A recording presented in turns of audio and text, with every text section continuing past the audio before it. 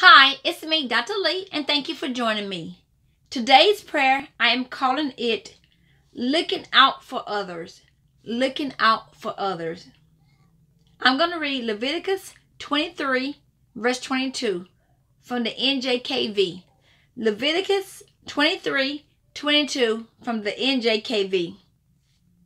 It says, When you reap the harvest of your land, you shall not wholly reap the corners of your field when you reap, nor shall you gather any gleaning from your harvest. You shall leave them for the poor and for the stranger. I am the Lord your God. Again, Leviticus 23 22 NKJV says, When you reap the harvest of your land, you shall not wholly reap the corners of your field when you reap, nor shall you gather any gleaning from your harvest. You shall leave them for the poor and for the stranger. I am the Lord your God. Looking out for others. You know, there's um, some people in life that never look out for anyone else but themselves.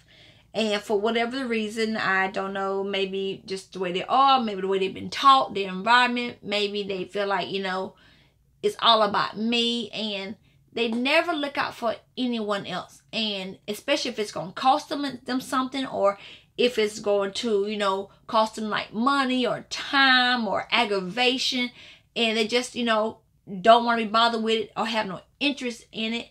But then there are others that live their life to be a blessing, to help others. And as far as loving the Lord and say, you know, I'm keeping God first in my life. God wants us to be a light in this world. He wants us to like show love. He wants us to do whatever we can to show his love, his light. And like in Leviticus 23 and 22, he wasn't telling them to go out there and just take everything. Get all you can get, pick it clean, pick, pick it dry. You know, don't don't think about anybody else. He was basically saying, think about the others.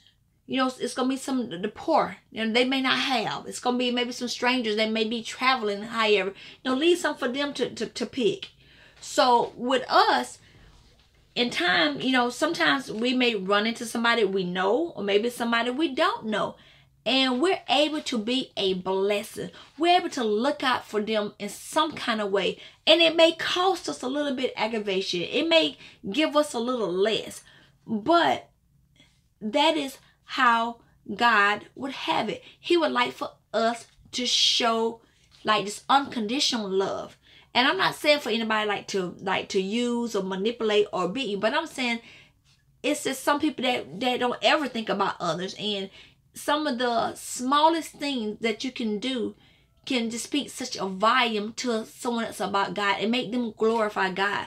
So let's say, for example, you may go into a store, like um, let's say you go into a store and they got something on sale, and it's such a good price, and you don't have but maybe an extra dollar or two. Maybe you don't even have that extra dollar or two, but you have it in your um your pocket, and you say, you know what? I know, I know so and so love this strawberry candy and uh, I'm gonna get me a bag and I'm gonna get it for so and so just to be a blessing. Not saying because they they necessarily need it or want or ask you to do it, but because you want to put a little like how can I say sunshine in someone's life, or you want to put a little show them a little love or make them smile, and it's just amazing to me like how many people you'll run across and you can bless them with something and it could be something that you seem like okay it was just like really nothing just a little something and they just be so happy. They be like this is the only one i'm going to to get. Like i you know i just seen someone you know just a stranger and gave them i'm just making some gave them a uh like a artificial flower because it was valentine's day or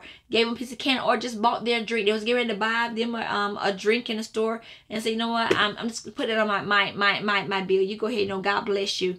And they're like just so blown away. Like they can't believe it. Like oh oh oh my.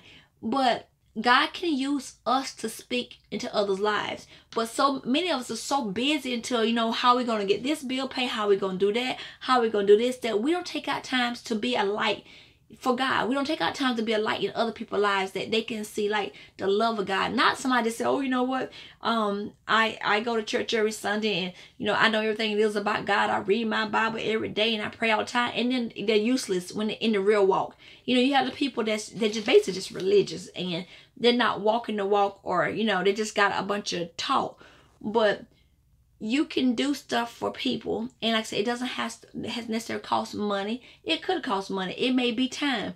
You know you can see let's say you may have an elderly person down the street from you and you've been knowing 20 years and you see that you know they're they're they got I don't know glass in their driveway. You know, so you know what? I'm gonna go and I'm gonna go sweep it up because I don't want them to get you know glass in their tires because it's gonna cost and and they don't you know they can't get around good or maybe they can get around good. You just want to be a blessing because you saw this. You did something kind and it's like so how can I say it's so wonderful, so like so like refreshing when you run to somebody or uh, come across somebody that's just doing something for the sake of you know being a loving person or just you know trying to make somebody else's day you know go smooth or just like I said to be a to be a to be a, a light. And that's you know that's basically like for Leviticus 23 and 22 looking out for others. God wants to look out for others. That's basically what all, all I'm trying to say. In whatever manner it is you know it doesn't matter if you, you know, some people say, well, you know, I want to get all the money in the world and I want to have all this property and have all these cars and have all this materialistic thing. You know, if you ever get sick and your health start to fade or you know or you start to lose loved ones you think about what good did money do for you know? You say well if you had taken some of that money and been a light in some of these people's lives or or you know you you you have you have millions i'm just making up some millions of dollars and all you did was bought materialistic thing what i mean what good is that doing for god's kingdom and i'm not saying you shouldn't buy yourself anything you know we shouldn't buy ourselves anything but i'm saying some people, all they think about is themselves, how much they gonna save, and you don't know. None of us know how long we have, how long we'll be on this earth. And people die all the time with millions of dollars and you know billions of dollars, or thousands of dollars, hundreds of dollars, and it's like wow. Now, if that person had it, they would do. If they knew they were dying, they would do different with that money. They would live their life a different way. They they probably would bless more people. They would did more um things because they knew that their time was you know running out. And you probably seen like movies or something where a person has so many um so much time to live and they had to get together. And when when they know that everything changed. All the stuff that, you know, stuff that was important does not become important. And most time things that's like that that has no money value is what becomes important. You know, their family, their friends, their, you know, their loved ones and, you know, being kind and being generous. So don't, you know saying, don't live your life. Don't live your life just always trying to gain for yourself.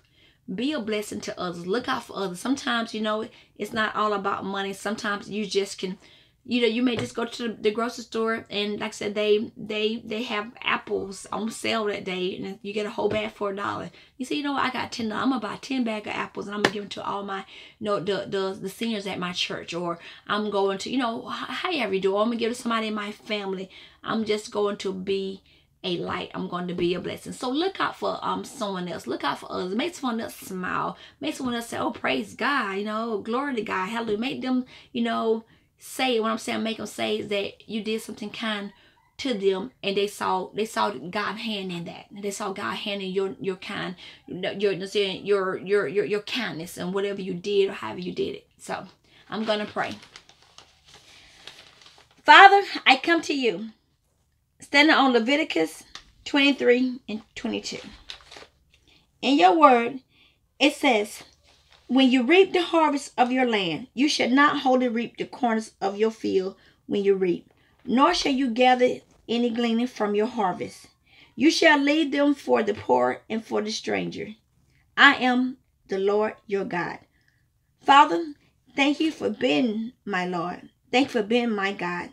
And may I continue to grow and looking out for others and thinking of others and just may your Holy Spirit continue to guide me and to lead me to the people that I should bless, the people I should encourage, the people that I may just need to show a little kindness in whatever manner the Holy Spirit tells me or uh, guide me into showing that manner of kindness. So, Father, may I continue to grow looking out for others and being a light, a light.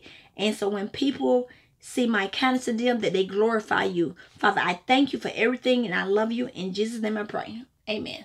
And so don't make everything about, you know, I gotta get money, I gotta get, you know, stuff and things, and I'm just so busy that because one day, you know, it just all it all fades away. It's not even uh, important at the end. At the end of you know life, we know take your last breath. You know, it's like it's not even important. So if you got a, a whole lot of money or what you may consider a little money, find some way to to to, be loving, kind, and show God's um like to to others. Look out for others.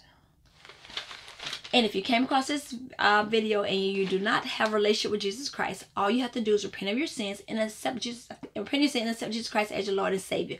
And if you already have a relationship with Jesus Christ, all you need to do is just be a, a brighter light and just keep working on, just keep growing. It's a journey. Remember, obedience is key. Read your Bible and pray, pray, pray. Talk to God um, as much as you can. Acknowledge Him. Start your day with God and just talk to him, you know, whenever you can. It doesn't have to be long prayers. Just continue to just just just grow your relationship and and enjoy the journey.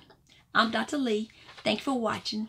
Let go, let God, and keep it moving. Take care.